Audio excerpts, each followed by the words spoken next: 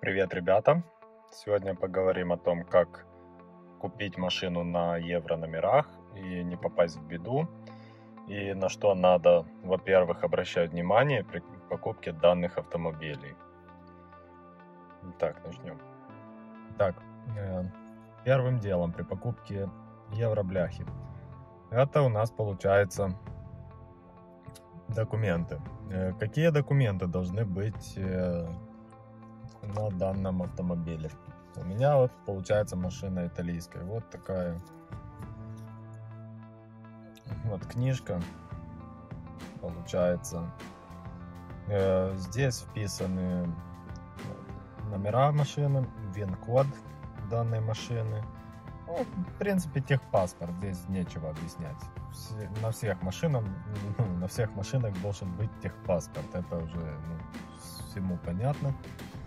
И это самое, самое-самое минимум, что можно по этой теме сказать.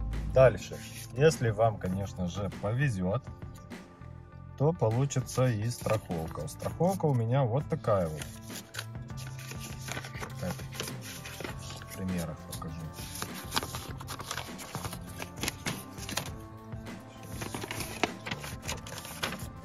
Вот. Это все по машине до 15.07.2021 года. Она действительно. Ну, она делается также украинская, но желательно, чтобы была вот такая.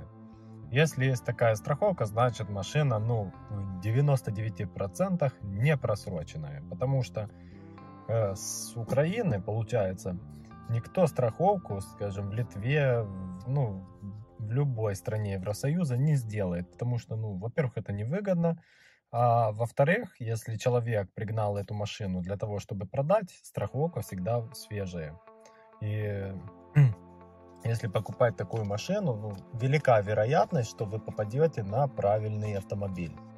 Ну, относительно, конечно же, только документов.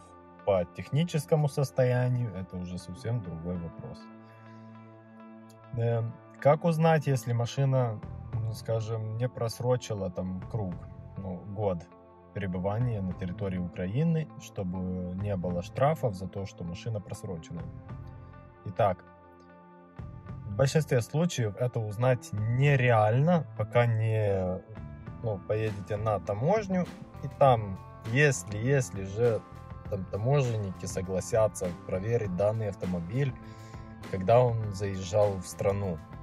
Но это я не знаю, ну блин, ну процент один из ста, что не согласятся, потому что, ну, им, во-первых, это не интересно, во-вторых, невыгодно, ну и ну, тратить время они навряд ли станут. Это так я говорю, если нету знакомых, там одно другое. Э, еще одно. Э, по этому же вопросу больше я так, в принципе, не знаю даже, ну, на что смотреть так по документам. Если, ну, не переварен кузов и одно другое, ну, блин. Да, есть и такие, конечно, нюансы.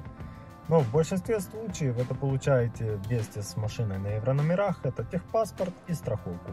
Ну, в редкостных случаях доверенность, вот о ней еще поговорим. Э, доверенность это вот такая вот интересная балда, Короче, даже как сказать, и без нее можно кататься, и с нею можно кататься. Если без доверенности, то вот те водители, которые не знают там или, ну, даже если полиция, ну, решила их остановить, и за это их это самое оштрафовать, то, ну, я не знаю, многие говорят, что если вот у меня доверенность, мне уже можно ездить на территории Украины. Нет, вы глубоко ошибаетесь. Если даже у вас есть доверенность, и вы не ввозили данный автомобиль на территорию Украины, то вы не сможете кататься законно, на законных основаниях. Это прописано в законе, что человек, который заезжал в страну, тот имеет право кататься на данных автомобилях. Никак иначе. Даже эта доверенность вас не спасет.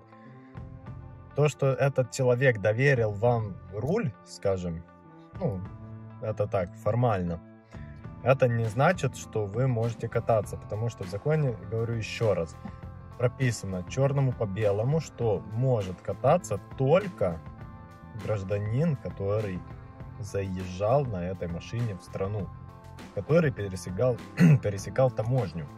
Вот только так в таких случаях можно кататься. Все остальные варианты это незаконно. Но пока что на данное время ездим без проблем. Пока что. Насколько еще продлится это время, никто не знает. Так что, ну, вкратце я вам объяснил, что должно быть при покупке данной машины. Если вы нарветесь на просроченную, ну, в принципе, ничего страшного. Можете ее растаможить в конце концов. Вы оплачиваете 8500, это штраф за то, что машина ну, не своевременно выехала из страны. И в дальнейшем растамаживаете его. И все. Вот эти все документы. Я вам показал. У меня два документа. Есть техпаспорт и есть страховка. Больше у меня на эту машину ничего нет. И не надо. В принципе, всем спасибо за просмотр. Может, кому-то чем-то помог. Ставьте лайки, подписывайтесь на канал. А также следите за новыми выпусками. На все вопросы также отвечаю в комментариях. Любые вопросы, чем могу, тем помогаю. В принципе, на этом можно закончить это видео. Всем удачи!